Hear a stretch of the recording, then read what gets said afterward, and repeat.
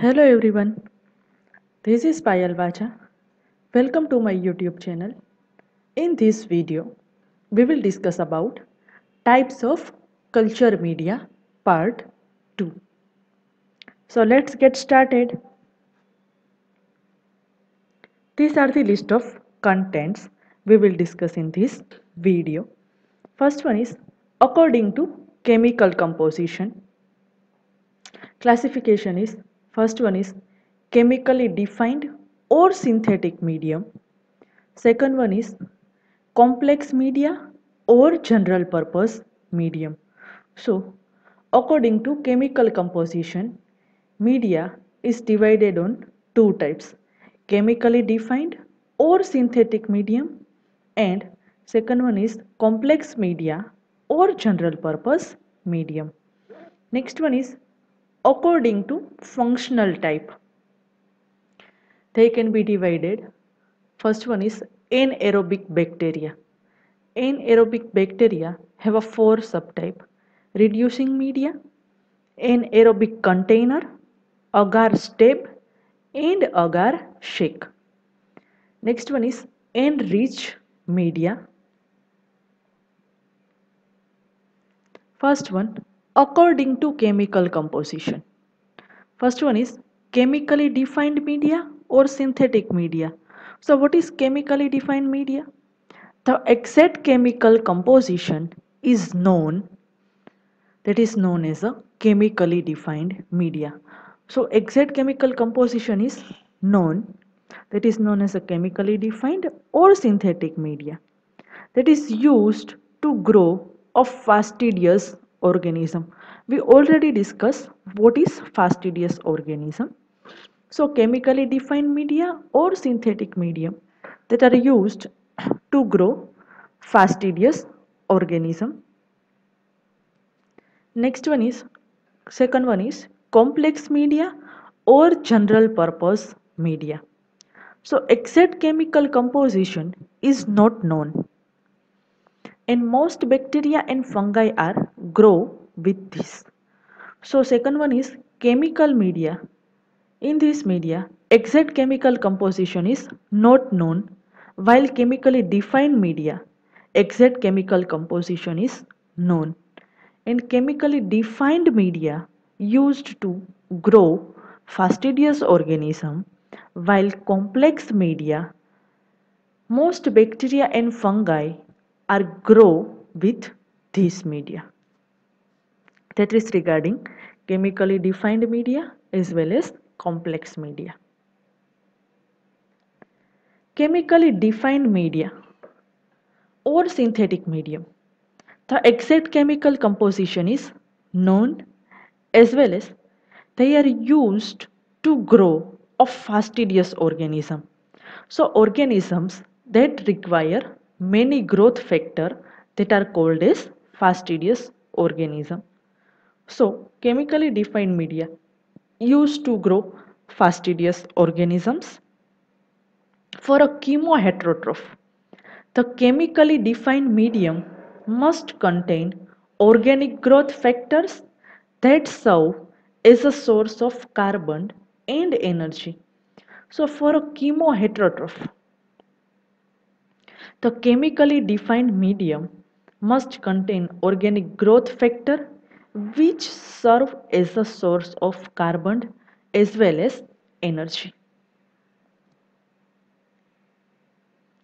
For example, glucose is included in the medium for growing the chemoheterotroph E. coli. So glucose that is included in the medium. Why? To growing the chemoheterotroph E. coli. Many organic growth factor must be provided in the chemically defined medium. They are used to cultivate a species of Neisseria gonorrhea. So many organic growth factors must be provided in chemically defined medium. So what is the role of organic growth factor? They are particularly used to cultivate a species of Neisseria gonorrhea. A chemically defined medium for growing a typical chemoheterotroph such as E. coli. So, that is the formula of chemically defined medium for growing a chemoheterotroph E. coli. Constituent is glucose 5 gram. Second one is ammonium phosphate monobasic 1 gram. Next one is sodium chloride 5 gram. Magnesium sulfate 0.2 gram. Potassium phosphate dibasic 1 gram and water 1 liter. That is the formula for chemically defined medium that are useful for growing a chemoheterotroph such as E. coli. Complex media or general purpose media. So what is complex media or general purpose media? Exact chemical composition is not known. It is made up of nutrients including extract from yeast, meat or plant or digest of proteins from this and other sources. So, in complex media, exact chemical composition is not known and it is made up of nutrients. Which type of nutrients? Like extract from yeast, meat or plant or digest of protein from this and other sources. In complex media, the energy, carbon, nitrogen and sulfur requirements of the growing microorganisms are provided primarily by protein. So in complex media, energy, carbon, nitrogen and sulfur requirements of the growing microorganism that are provided primarily by any protein. So carbon, nitrogen, sulfur requirements of growing microorganism that is coming from protein. Protein is a partially digested by acid or enzymes to shorter chain of amino acid called as peptones which can be digested by most bacteria. So protein it is a partially digested by acid or enzyme. Why it is digested? To shorter chain of amino acid that is called as peptone which can be digested by most bacteria. If a complex medium is in a liquid form, it is called as a nutrient broth. What is nutrient broth? We already discussed. If complex media is in a liquid medium that is called as nutrient broth. But if complex medium is in a solid form, it is called as a nutrient agar. When agar is added, it is called as a nutrient agar. So what is different between nutrient broth and nutrient agar? So if complex medium is in a liquid form so it is called as a nutrient broth. And if complex medium is in a solid form it is called as nutrient agar. According to functional type first one is anaerobic bacteria. Anaerobic bacteria have a four subtype reducing media anaerobic container agar stab and agar shake. Second one is enriched media. Third one is enrichment media. Next one is selective media. And last one is differential media. So we will discuss one by one. Sugar media, transport media, assay media and storage media. All are the type of functional category. First one is reducing media because anaerobes might be killed by exposure to oxygen. Special media called as reducing media must be used. So, reducing media because anaerobes might be killed by exposure to oxygen. Special media that is called as reducing media. So particularly for anaerobes, they are killed by exposure to oxygen. So special media is prepared that is called as a reducing media. So reducing media is particularly used for anaerobes. These media which contain ingredients such as sodium thioglycolate that chemically combine with dissolved oxygen and deplete the oxygen in the culture medium. So, in reducing media, these media contain ingredients. Which type of ingredients? Such as sodium thioglycolate that chemically combine with dissolved oxygen and which deplete the oxygen in culture medium. So, main ingredient is sodium thioglycolate. What is the function of sodium thioglycolate? That is combined with dissolved oxygen which deplete oxygen in culture medium. So reduce the amount of oxygen by combining sodium thioglycolate with dissolved oxygen. To routinely grow and maintain pure culture of obligate anaerobes. Microbiologists use reducing media stored in ordinary, tightly kept test tube. So, to routinely grow and maintain pure culture of obligate anaerobes. We already discussed what is obligate anaerobes. So, for routinely growing as well as maintain a pure culture of obligate anaerobes, microbiologists use reducing media that are stored in ordinary tightly kept test tube. Why reducing media is stored in tightly kept test tube because it maintain pure culture by tightly kept test tube and maintain sterility. These media are heated shortly before use to drive off absorbed oxygen. So this type of media, these reducing media are heated shortly before use. Why? To drive off absorbed oxygen.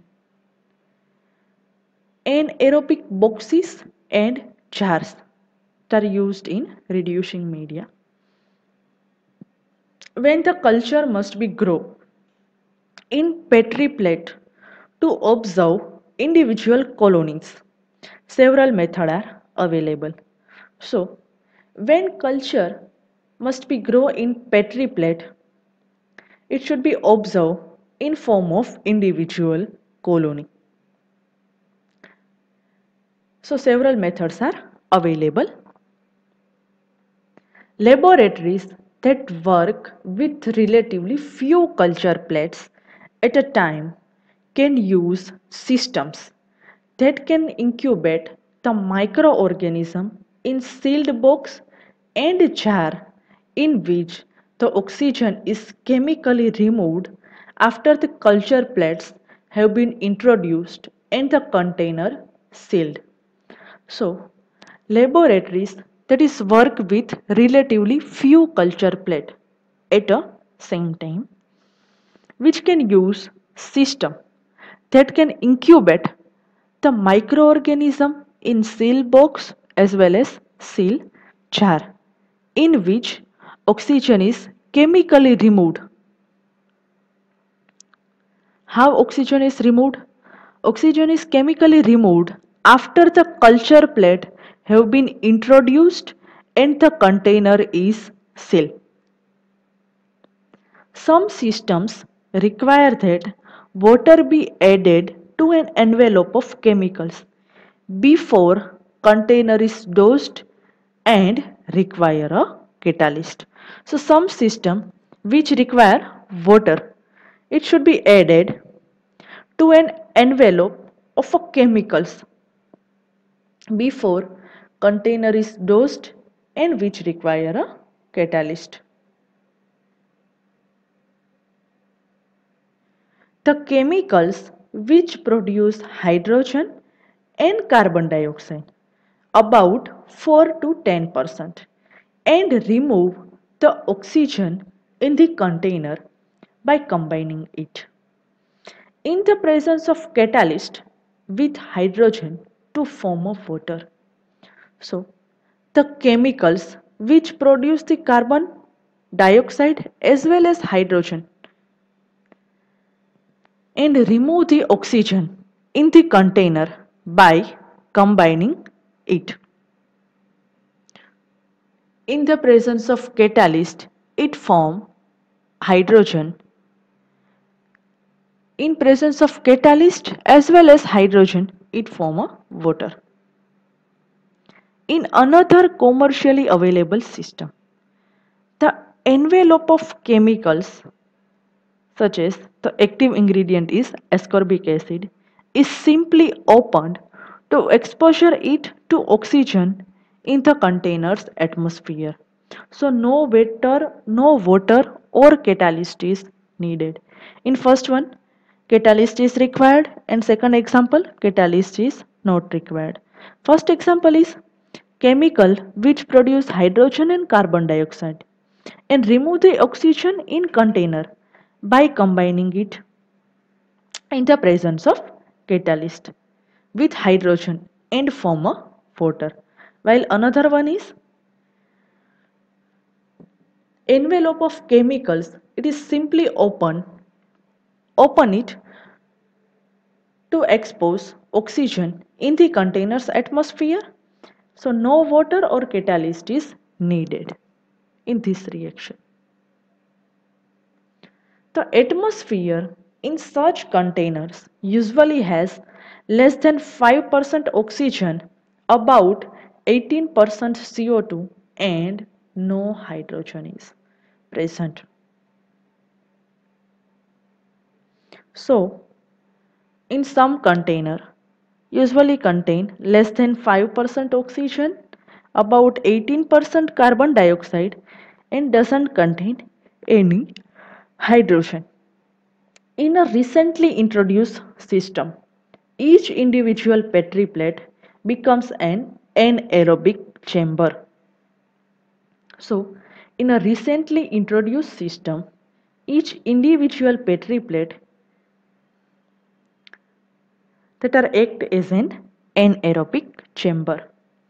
The medium in the plate which contains an enzyme oxidase which combines oxygen with hydrogen removing oxygen as the water is formed. So, medium in plate which contain an enzyme such as oxidase. Oxidase combined with oxygen with hydrogen and remove the oxygen as the water is formed.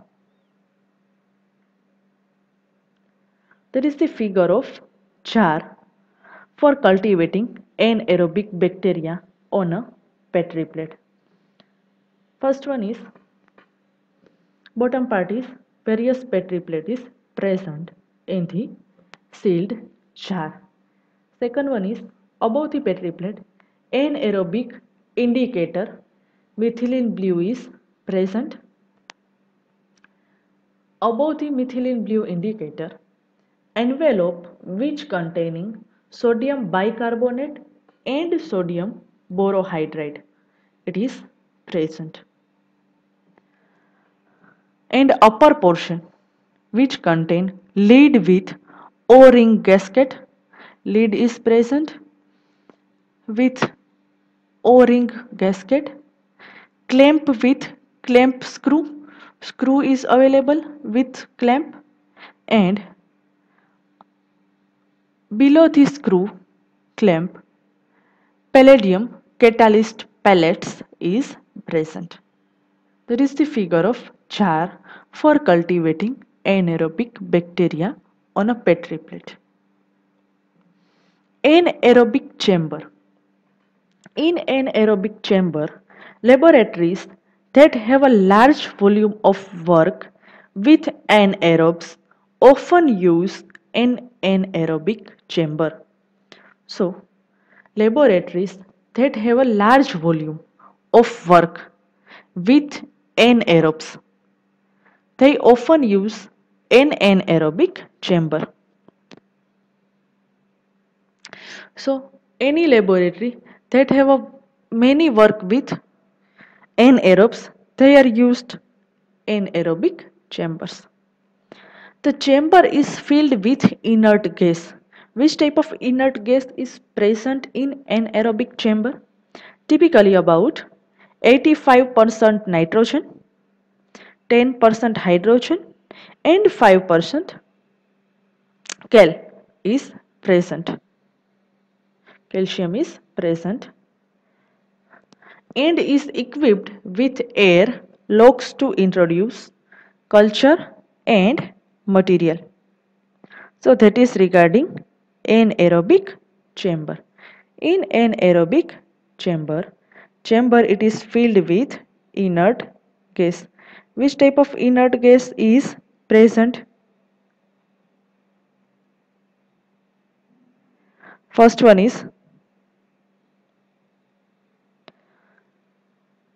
85% N2, nitrogen, 10% hydrogen and 5% CAL.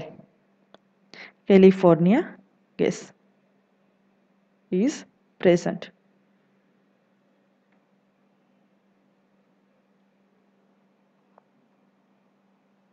Next one is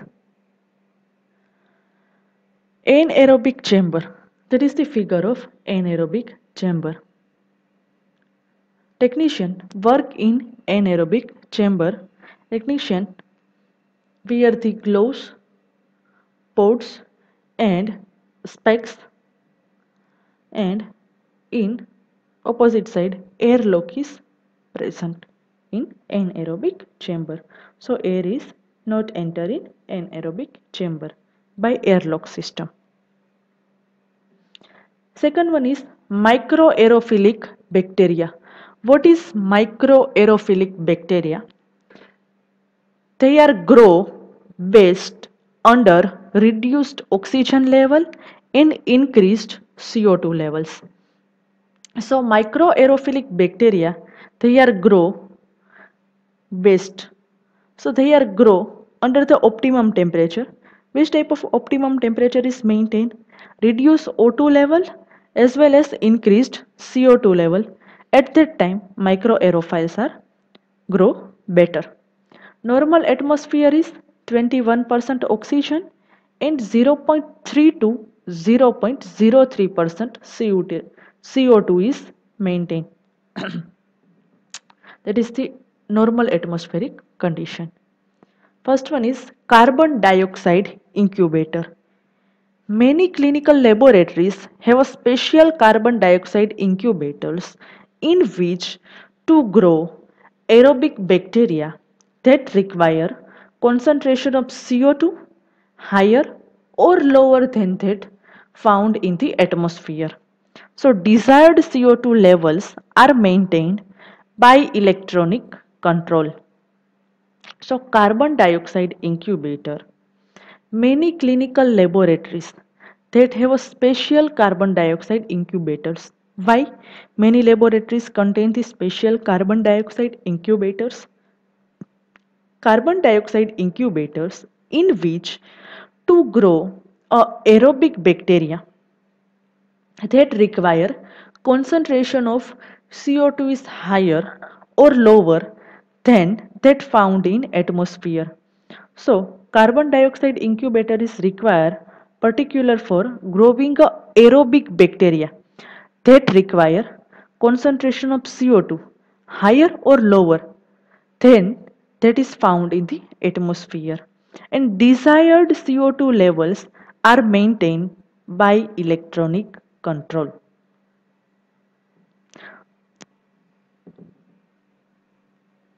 That is regarding CO2 incubator. That is the figure of CO2 incubator.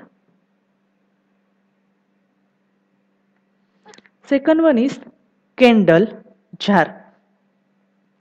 High CO2 levels are also obtained with simple candle jar. So high CO2 level are obtained with simple candle jar. If maximum CO2 is required, so simple candle jar is used. Cultures are placed in a large seal jar containing a lighted candle which consumes a oxygen. So culture that are placed in a large seal jar which contain light candle and which consumes a oxygen. The candle stop a burning when the air in the jar is a lower concentration of oxygen. So candle jar stop the burning. When candle jar stops the burning? When the air in the jar has lower concentration of oxygen is present. An elevated concentration of CO2 is also present. So in candle jar, high CO2 level are also combined with candle jar. So high CO2 level is present and culture are placed in a large seal jar which contain light candle and it consumes oxygen. So culture that is placed, in large seal jar which contain light candle and it consume oxygen. And candle stop burning. When air in the jar has lower concentration of oxygen is present. And last one is an elevated concentration of CO2 is also present. At that time candle stop burning microbes that grow better at high CO2 concentration that are called as capnophiles. What is capnophiles? Microbes, they are grow when higher concentration of CO2 is present. This type of microbes that are called as capnophiles. Next one is the low oxygen, high CO2 conditions resemble those found in the intestinal tract, respiratory tract and other body tissues where pathogenic bacteria grow. So, lower oxygen, higher CO2 conditions resembles they are found in intestinal tract, respiratory tract and another or other body tissue where pathogenic bacteria will grow. That is the figure of candle jar. In bottom portion, Petri plate with solid media is present in a inverted condition. Above the Petri plate, candle is present in another side. Tube with liquid media is present and that is the above the liquid media. That is the glass jar. And above the glass jar glass jar is sealed with lid. So lid is present at the top of candle jar. Next one is co2 generating packet. Co2 generating packet. Candle jars are still used occasionally but more often commercially available chemical packets are used to generate carbon dioxide atmospheres in a container. So candle jar are still used in used occasionally but more often commercially available chemical packets are used. Why chemical packets are frequently used? Chemical packets are frequently used to generate carbon dioxide atmospheres in a container. When only one or two Petri plates of culture are to be incubated, clinical laboratory investigators often use small plastic bags with self-contained chemical gas generator that are activated by crushing the packet or moistening it with a few milliliter of water. So, when only one or two petri plate of cultures are incubated, clinical laboratory investigators or technicians often use small plastic bags with self-contained chemical gas generator that are activated by crushing the packets or moistening it with few milliliter of water. So in CO2 generating packets, they are used frequently for generate a carbon dioxide in a container as well as when one or two petri plate of culture are incubated, clinical laboratory investigators use small plastic bags. Why? Small plastic bags with a self-contained chemical gas generator is present and self-contained chemical gas generator that are activated by crushing the packet or moistening the packet with few milliliters of water. These packets are sometimes specially designed to provide precise concentration of carbon dioxide and oxygen for culturing organisms such as microaerophilic that are called as Campylobacter bacteria. So these chemical packets are sometimes specially designed. Why sometimes specially designed? It provide precise concentration of carbon dioxide. Usually it provides the higher concentration of carbon dioxide than candle jar and oxygen for culturing organisms like microaerophilic Campylobacter bacteria. That is the figure of packets. That is the packet. First part, first side, petri plate with bacterium culture is present.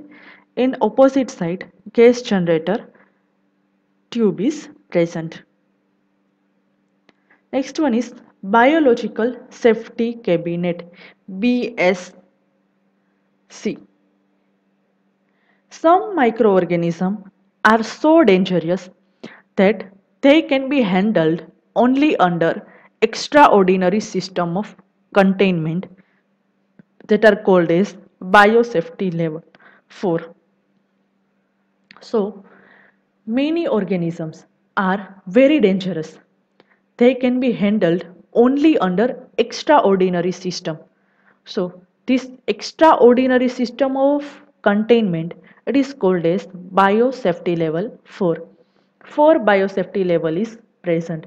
Biosafety level 1, biosafety level 2, biosafety level 3 and biosafety level 4. Level 4 labs are popularly known as hot zone. So why level 4 biosafety level 4 that are called as hot zone? Because in hot zone, many dangerous microorganisms are handled under extraordinary systems of a containment. Only a handful of such labs that are existent in United States. So biosafety level 4 present in any lab. So this type of lab only present in United States. Both intake and exhaust air is filtered through high efficiency particulate air filters. The exhaust air is filtered twice. So both intake air as well as exhaust air that is filtered through HEPA filter. What is HEPA filter? high efficiency particulate air filter. The exhaust air is filtered twice. The personal wear space suits that are connected to an air supply. So, why doing with this type of chamber? Personal wear is space suit is particularly designed for working in biosafety level 4. They are directly connected to an air supply. Less dangerous organisms are handled at lower level of biosafety. For example, basic microbiology teaching laboratory would be at biosafety level 1. So if microorganisms are not that much dangerous. They are less dangerous and they are handled at lower level of biosafety level. So biosafety level 1 that is the example of lower level of biosafety. They are particularly useful for basic microbiology teaching laboratory scale. In this scale, less dangerous organisms are present.